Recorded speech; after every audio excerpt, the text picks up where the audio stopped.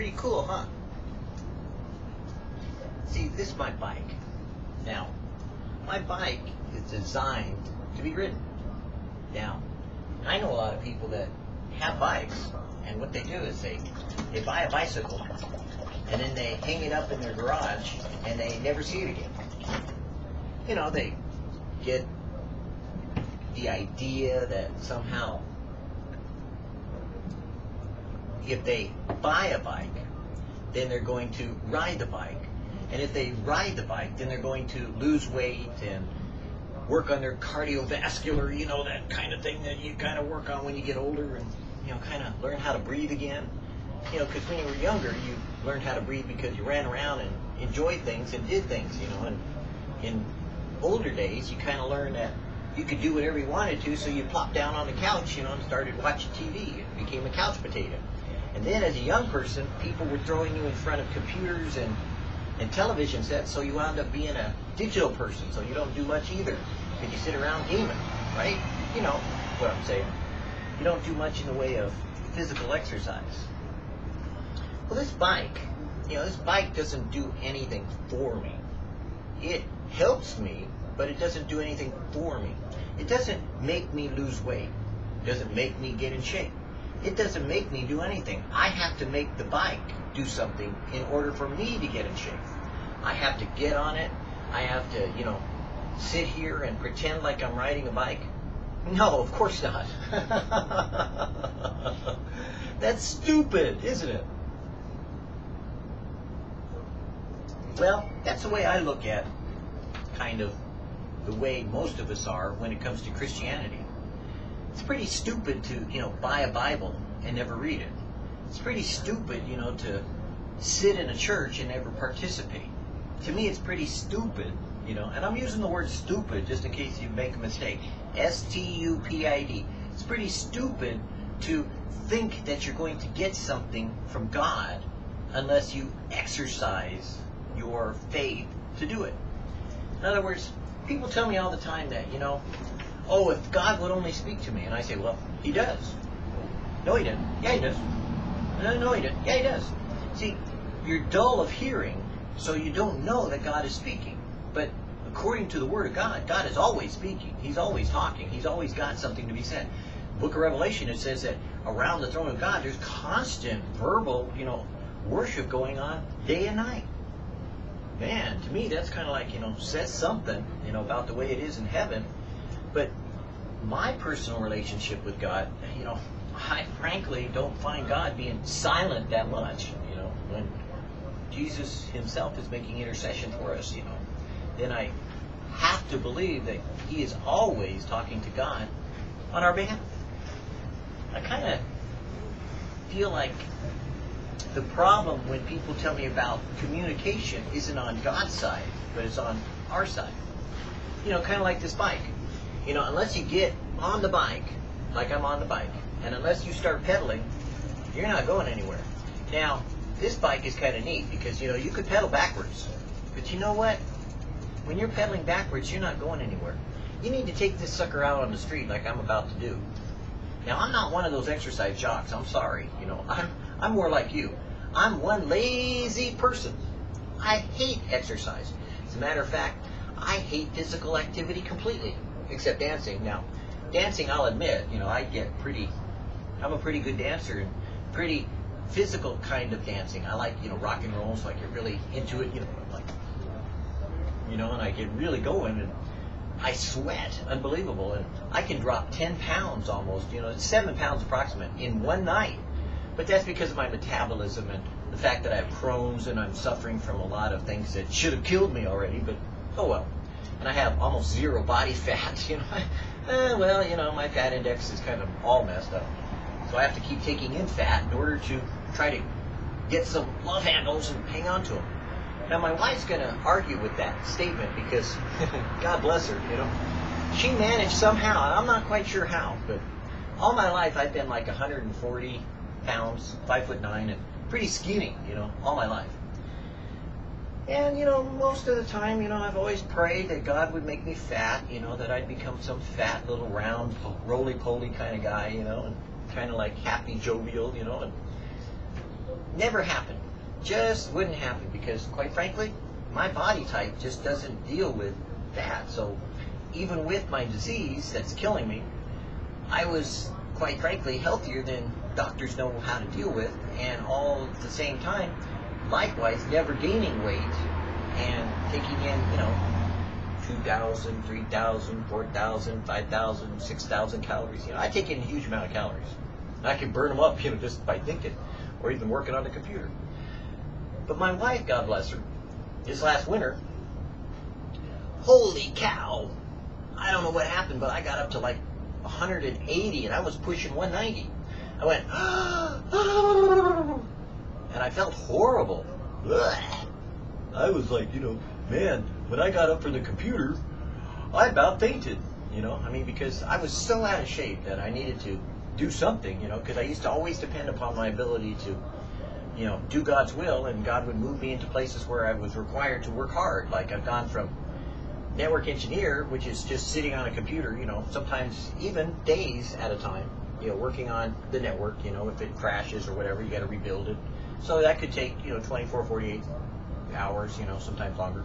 But being a geek where you're just sitting with a monitor to being the opposite extreme where I was a journeyman boilermaker and I was out in the 110 degree weather with a welder, you know, beside by my side, you know, and we're working on, you know, 15 stories up, you know, propped up and, you know, kind of linked into, you know, not falling down all the way to the ground, you know, 15 stories, and welding these pieces and fabricating things, you know, at power plants, you know, and mills, and doing all kinds of like really ridiculous things, you know, like going down inside tanks, you know, and welding little steps to go up to where we could weld, you know, and being there for him and handing him stuff and making sure he didn't catch fire and, you know, doing all kinds of weird things. But that was hard physical labor, you know, 12 hour days, 10 hour days, you know, and just sweating like a pig and getting filthy dirty, you know, and dealing with hazmats and all that stuff. That was fun. but the point is, God took me from one extreme to the other. Well, now he's wanting me to learn balance, you know, to kind of like not be all one way or all the other way. God wants me to be his way. And you know, one of the things you learn about doing it his way is that you can't have it your way. You have to learn to pray, read your Bible, do things in a disciplined way. You know, every day, you know, take a little bit of time for prayer, to talk to God, you know, kind of like, hey, God, I'm here. You want to talk to me? I'm listening.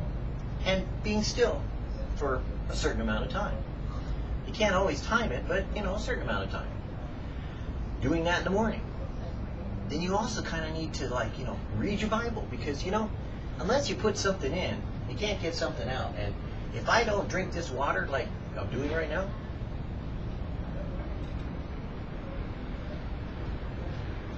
when I go on that bike bike ride right now that I'm about to do, I get instant cause and effect to my body because I'm missing half of my guts. You know, most of my guts have been removed. I got a bag on my side, but the point is, is that because my metabolism is all messed up, I react immediately to stresses that you know are on the body. You know, thank God I have a strong mind, but keeps me going in faith. You know, God by my spirit, you know, is able to keep my body going even when it's dying. But if I don't drink water, when I go out and I start to sweat, I'll pass out, literally. You know, it'll bring my blood pressure all messed up unless I keep replacing fluids that I lose so easily. So I have to constantly drink, you know, a lot of water, you know, do all that kind of thing, you know. And then, of all things, because I'm older, it's terrible.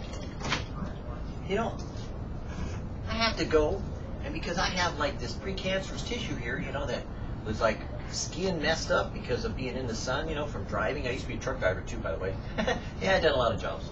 You know, class, class A, C, L, whatever, you know, with all the dualies and, you know, the, you know what I'm saying hazmats and stuff, you know, when I was in Alaska. But anyways, because I'd sit and, you know, like the sun is always beating me on the face right there because I'm always driving.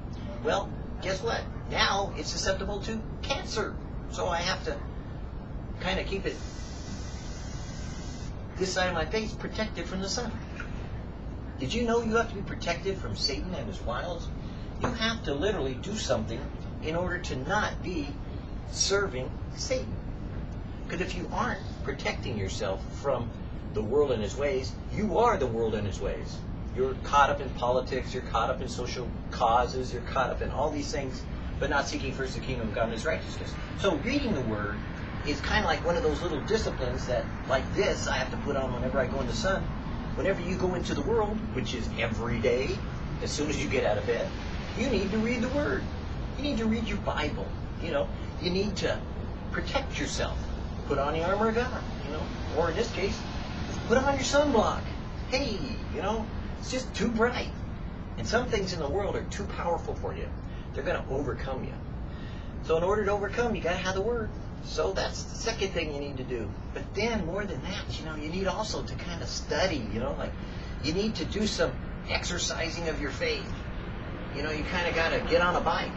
Now, it's nice to get on the bike, but you still got to do something with the bike. You got to take it outside and go for a ride.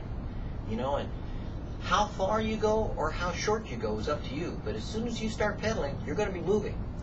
Once you're moving in a direction, then you're heading in that direction and you have some place to go. Because no matter what you do, if you're moving your feet on the pedal, unless you're going backwards, you're moving forward. And so, in order to move forward, you have to have a Bible study. Yeah, did you know that? You have to study to show thyself approved unto God, a workman who need not be ashamed, rightly dividing the word of truth. You have to study in order to grow. I mean, yeah, you could pretend like, you know, the bike is going to take you there. Go, bike, go. Come on, go. Go, bike, go. Bike, I'm telling you, if you don't go, I'm going to beat you. In the name of Jesus, I command you, bike, to go. And you know what? It ain't going to work. Because you can put all your faith into that bike, but unless you do the work, it ain't going to happen. So the works of the flesh don't accomplish much, but the works of the Spirit they accomplish much more. And studying the Word of God is the works of the Spirit. Because the Spirit was given so that you would study and learn, and He would give you ears to hear and eyes to see what it is that the Spirit would teach you of Jesus. He would explain it to you. You would have a relationship with Him. And as He causes you to study, guess what? The bike moving forward is going in a direction. Now, the Bible says the direction of a man's heart is his own, but the footsteps are ordered of the Lord. So you may be steering, you know, and you may think that you know where you're going, but God's going to direct you. Because you see, as I'm heading down the road, if that road is blocked, I either got to go around or I got to go back. So I trust God every day when I pray to direct me in the way He wants me to go. So when I'm riding my bike, I kind of say a prayer and say, God, take me there, you know, and I go. When I'm studying the Bible, I do the same. I say a prayer and say, God, take me there, and He does. He takes me where He wants me to study. I don't just go with the flow like where most people know that they're going to get what they want whenever they go there because it's kind of like somebody else picked that topic. I don't want to study that. And even when I was like at one of the big mega churches, you know, of my day in the Jesus movement, you know, like down at Calvary, oh sure, I'd go to a Bible study, you know, on a Monday, Tuesday, Wednesday, Thursday, Friday, Saturday, Sunday, because I went seven days a week, which is kind of unusual, but I was able to do it because I was on a fixed income. oh well. But you know, when you're disabled, what do you do? But the, you go to church. so I was able to study. So when I would go to a study, sometimes I'd be right there with you know the pastor, you know, and they're they're reading about this, you know, and then they'd say something, I'd go, oh wow, and then it would just like the Holy Spirit would take over and he'd take me off on a tangent, you know, studying this part that that place of where I was at may have been good for what I was hearing at the moment, but then God would add the increase and I would be taught what he wanted me to learn. And I enjoy that freedom that God has with each individual person. I may be starting off by talking about a bicycle riding on, you know, the streets, and you may wind up somehow with a Harley going down the highway heading to the mountains. I don't know how you get there, but you know what? if God inspires you for a Harley, go for the Harley. Me, eh, I don't do Harleys, and I don't want one. Because me personally, I don't know. Chuck Smith a long time ago talked this uh, Bible study about how pastors, you know, they get all these, you know, toys and they would, you know, personify, you know, looking like they were wealthy, you know, because they had their Porsches outside in a Bible study, you know, and they had their their Harleys and their their expensive cars up at, you know, the conference center in those days. And he said, you know, what do you think it looks like to people? You know, and he gave this really moving devotional. And uh, the next morning, all the Porsches were gone and all the Ferraris, you know, and all the expensive cars, and you know, it was kind of like more humble means were pretty obvious. and, you know, and I kind of look at pastors with Harleys that way. Maybe you don't, but I kind of feel that way for myself. Now, I understand 90% of Calvary's pastors today probably have a Harley, and they probably think that it's the most wonderful thing in the world. And even those pastors that went to that conference, I'm sure they're back to riding their bikes and you know expensive stuff. But me, I love this little mongoose bike, you know, because the mongoose usually is about 100, 200, you know, even 300 dollars.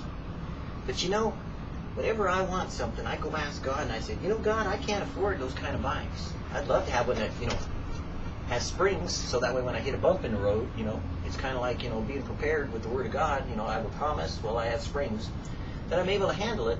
Well, I like the springs on the mongoose, so I always kept saying, God, you know, I can't afford you, so until you bring it about, I'm not buying one. And I've never bought much brand new, but boy, in a yard sale, 30 bucks. It was like, God, I really need to exercise. So I was driving down the road, my wife and I, and we looked and saw, oh, honey, turn. We turned, you know, and we pulled into the, the there, and sure enough, the guy says, well, you know, I want, I forget if it was 40 or 35. My wife, you know, used to, because she pretty much had money in those days, probably would have bought it for what it was worth.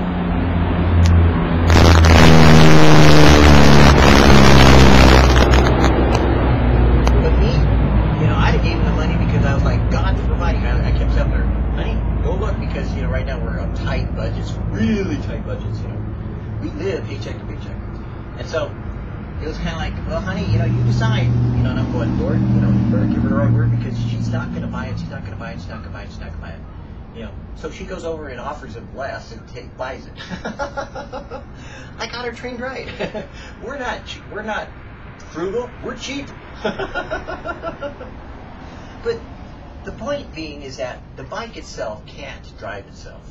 You know, I mean, I could push it and get off it and it'll go fall over. But with me on it, exercising by way of pedaling, you know, it's able to take me where I want to go.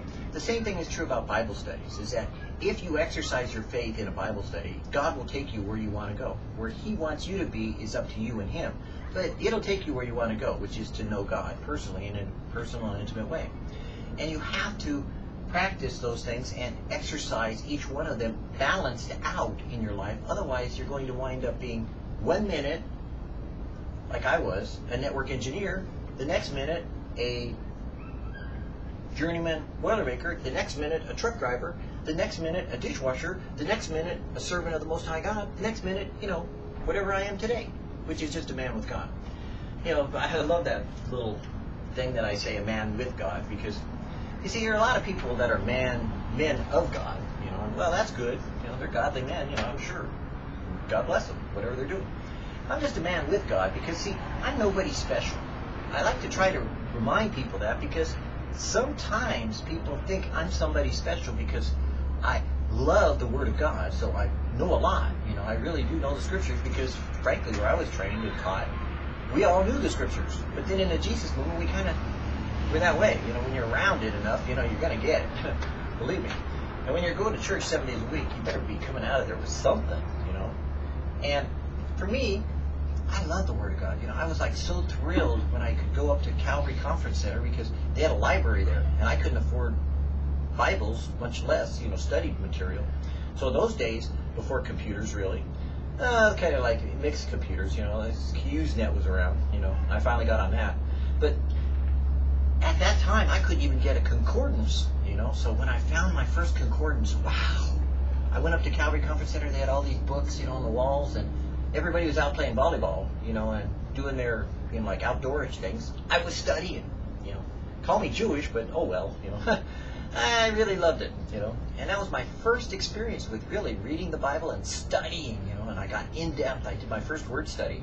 Never even knew what a word study was, you know. So it was kind of cool. You know, I loved it.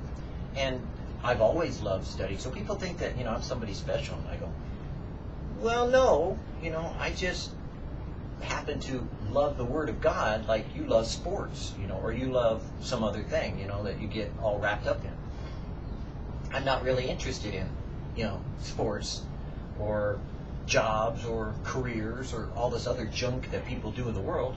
I'm more interested in what the Word of God says, you know, kind of what's going on in the universe and the earth and the heavens, you know, and with what God's telling me to do. But that's just me. You know, maybe you're different. Maybe you love sports, you know. Okay, you know. Enjoy.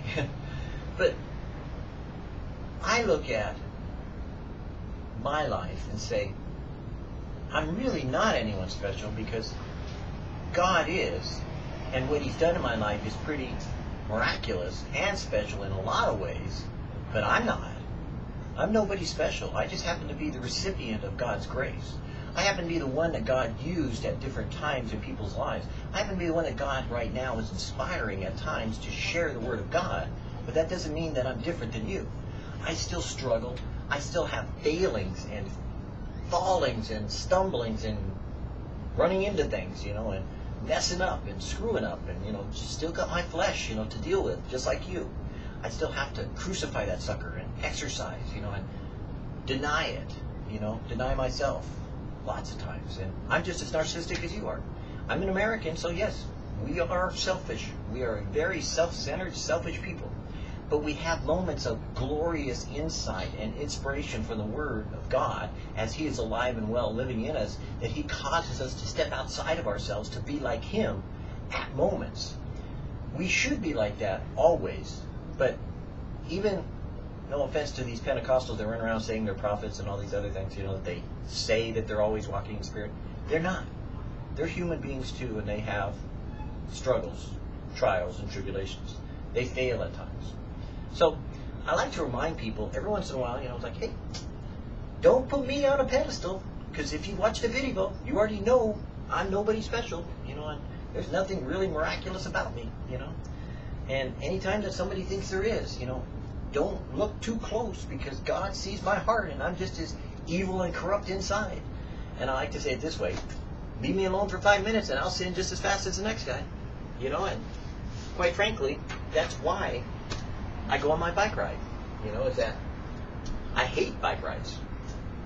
I kind of like looking around, but you know, if I was sitting on a little motorized motor scooter instead of a Harley, eh, then I'd like that better because I wouldn't have to do anything.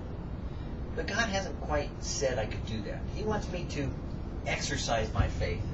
He wants me to participate with Him in dealing with real life you know, the life that He's called each one of us to do. You know, to go out and to share the good news of Jesus Christ with every single human being that we can. Because the time is short. We're running out of time. There's very little time left for this world to exist. And the world is passing away and the lust thereof. And so we need to seek first the kingdom of God and his righteousness so that not just that these things will be added unto us, but that other people would find God in the midst of them that God has been working in their life all along, trying to get them to realize if they would just do the simple things, the ABCs, the one, two, threes, to pray, to read their Bible, to study their Bible, to fellowship with other people, you know, like in church, true, but also more so in everyday life, to be a part of this thing we call creation, to be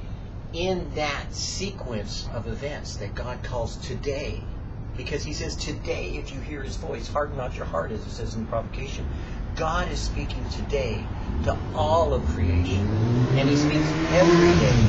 If we would but have ears to hear eyes to see what the Spirit of God would say to us. So learn slowly, but learn continually and discipline yourself. If you need to go exercise like I have to now, then back off your ministry. You know, walk away from, you know, the things you want to do and do the things you have to do. If you need to put on sunblock, then for God's sakes, put on sunblock.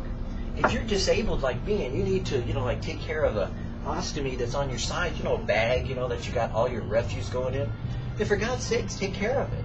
You know, don't put that disability on other people and make them have to suffer through elevating you as though you're something special because you're disabled. No, you're enabled in Christ in everything. So don't make people that have disabilities seem like they're something Superman because they're not. They're just like you. We live a little different lifestyle. We choose to hide lots of times if we can. You know, things like my ostomy. You know, I choose to keep it removed from people because it's not gross, but you know, some people kind of like, you know, they treat you different. So I'd rather look like I'm normal when anybody knows me knows I'm not normal. Boy, that's obvious. But don't try to make exceptions for people, but rather make the exception the love you have for all of humanity, whether it be disabled, enabled, Christian, non-Christian. Love those people with the love of God that He's given you, and you'll find out that guess what? You've moved into this synchronization with creation that God has created today to be. He wants you to operate in order with Him. Order means Seder. It's, it's like being a part of a bigger picture, being a part of the puzzle, being a part of the master plan, finding the purpose for today. Not your purpose for life and going about it, but what is your purpose today that God has designed for you to be in? What has God made you particularly unique and special that you could be Jesus to someone else today? That's what it means to get into synchronization with all of creation as this is the day that the Lord has made so that you can rejoice and be glad in it because you have done the will of God as he has shown you to do today.